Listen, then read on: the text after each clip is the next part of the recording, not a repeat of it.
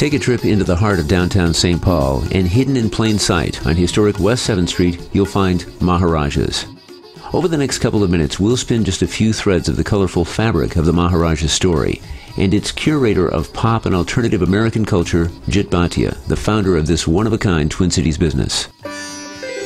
Maharajas has been the destination buzz hub of three generations and counting, bringing together young and younger at heart people of all kinds and colors, stopping in to experience the psychedelic assortment of eclectic artifacts and collectibles, almost anything you can imagine. From Kiss to Star Wars, action figures, posters and prints, abstract pop art, the Glassland and the Blacklight District, Maharajas is an experience.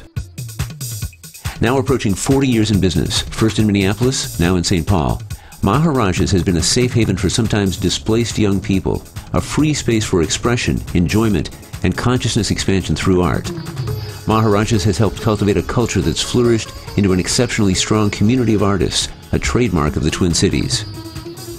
Through its developing expansion location on East 7th Street, Maharajas aspires to be a catalyst to further diversify these unique sections of downtown St. Paul and the transition to emphasize the online presence of the amazing Maharaja collection will truly make this a destination point for all fans of music, pop culture, eccentric, mind-bending, and even fine art.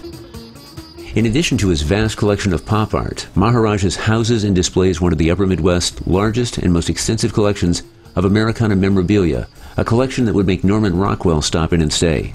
The Maharaja collection is also an opportunity to experience the rich cultural traditions of India in its art, painting, sculpture, and jewelry, the opulent splendor of a Maharaja's or great king's life in India.